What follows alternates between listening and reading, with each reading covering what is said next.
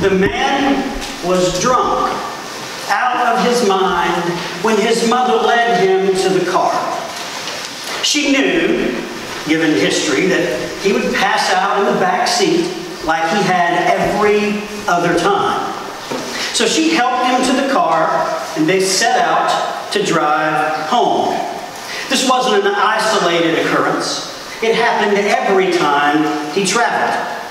He would sleep most of the way home, and then she would, when they got close, she would let him know about 15 minutes out that they were getting close to home so that he could wake up enough to be able to navigate from the car to the front door of his house to his bed where he would pass out again.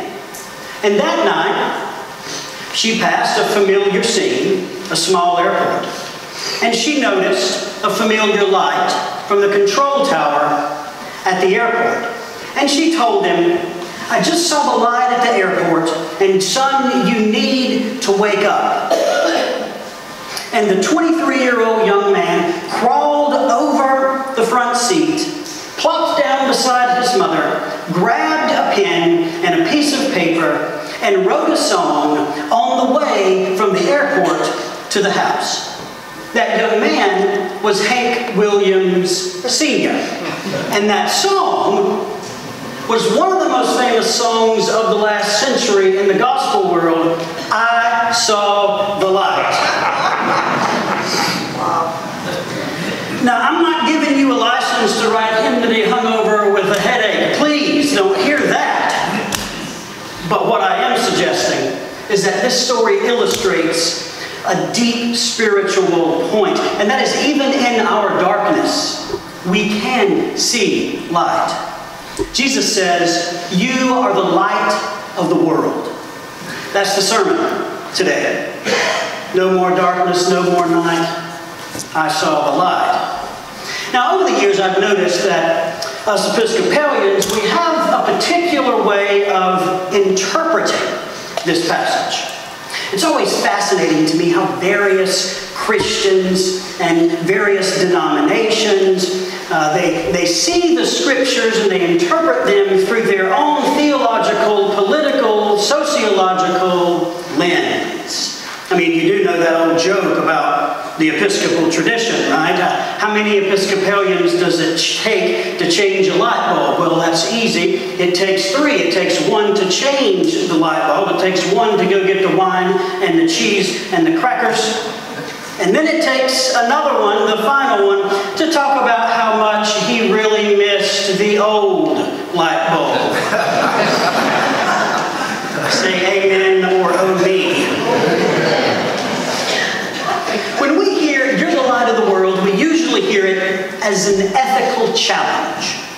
We hear it as a way of life, a system, if you will, a way to discern right and wrong, a way to treat people well and not. And we use that to develop what I've called holy virtues, to shine that light of inclusion of hospitality, of acceptance, the light of God's love, and to shine the light of social mercy. Now, let me just right here and ask a very important question. Do you know which promise in the baptismal covenant that is extremely popular in the Episcopal Church? See, at baptism, the priest takes the person, or if it's a child, people speak on behalf of the person, takes them to the font.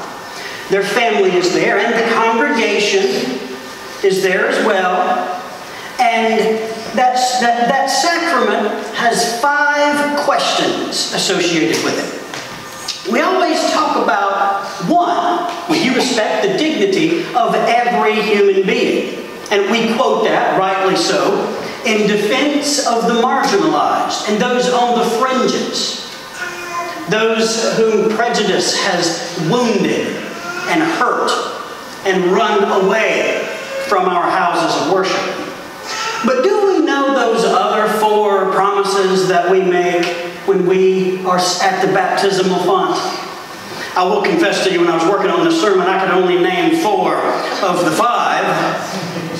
But here's one of the other ones Will you seek and serve Christ in all persons. Will you intentionally look into another person and find God's fingerprint of love in them? Will you extend the same hospitality to them, as much as you hope to disdain for them, as you would for Jesus? Now, I wish the baptismal covenant would ask something hard of me. You know, us Episcopalians, we, uh, we know all about asking hard things. It's, I mean, you know the old story. How many Episcopalians does it take to change a light bulb? Well, it takes two. One to ask the important questions.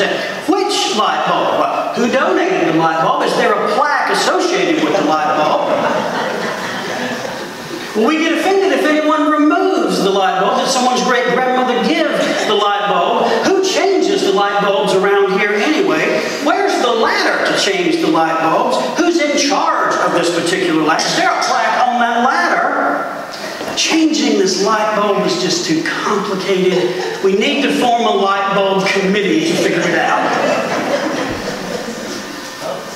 It's quiet. This passage does challenge us, challenges us to purposefully serve Christ in others, no matter of their persuasion or if we like them or not. Love your neighbors as yourselves. So we hear in this passage there's a challenge, a way of life, a way to treat people. But here's another way to see it it's a pronouncement of who we are. Sometimes when I study the scriptures, I find it helpful to note what Jesus did not say. He did not say, You can be the light of the world. You, you're capable of, if you just work hard enough, if, if you get all that sin out of your life, then, then you can be the light of the world. He said, You are the light of the world. That Greek word there, eimi, it, it literally means to exist without explicit time limitations or stratifications. So you're the light of the world, whether you like it or not, without any limitations. And when he says that, he confronts a threat, a demon, if you will, that so many of us battle every day of our lives. He speaks to the intricate recesses of the soul, the space where our insecurities and our addictions and our secrets, our rage, our wounds, where they, those things reside, the spaces of ourselves that we hide, the darkness inside. Jesus speaks to that and he declares an identity over us. You are the light of the world. It sounds to me like he's saying, you do not have to wonder anymore if you are worthless, or if you are unworthy of God's love, or if you're beautiful, or if God is mad at you, or if God is punishing you. You do not have to worry if God forgives you. You do not have to worry if one mistake defines who you are. You can release yourself from that jail cell, and you can be who God calls you to be. One light shining in the darkness can change the world. Shining the light is not something we do, it's who we are. When the light comes on, we can often see ourselves differently than before. It's like that old funny bit on Looney Tunes that I remember as a child when Bugs Bunny strolls into the office he sits down and he lays back on the psychiatrist's chair, and, and the good doctor, well, what brings you in today? And Bug says, Well, Doc, there's something bad wrong. I'm having delusions. I'm having all kind of delusions. I'm having delusions of adequacy.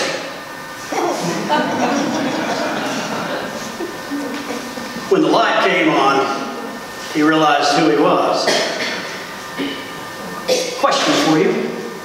How can knowing who we are inform our spirituality and our relationships? It allows us to engage them in a very different way a different approach to one another as we probably had before. See, we're the light of the world. We are the city on a hill. And that is a divine challenge, and that is a declaration and a promise of our personhood. There's one more little thing that I want to share. It's very subtle, but that is that holy community, us, the body of Christ, is fuel for light.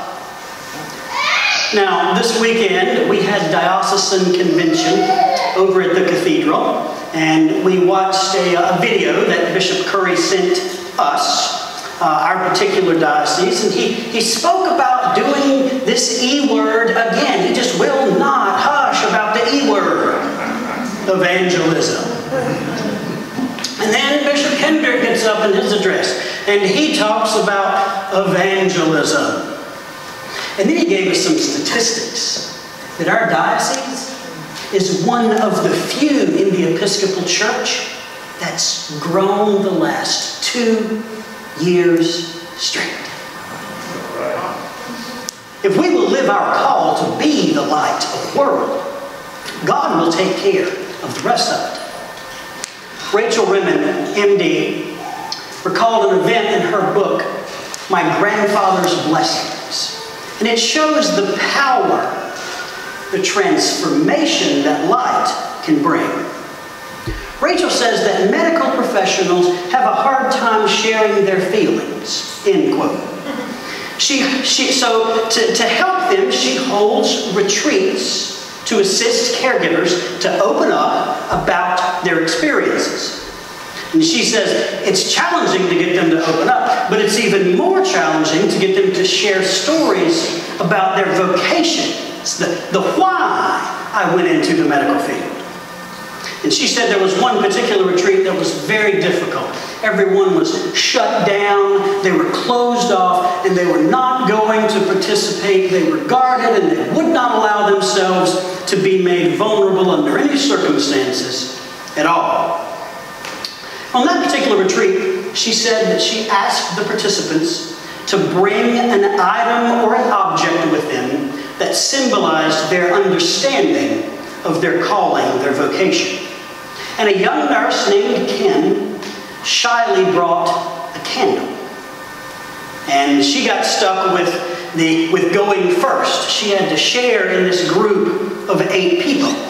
So she took her candle she walked to the center of the room and she put it in the center of the table. It was unlit.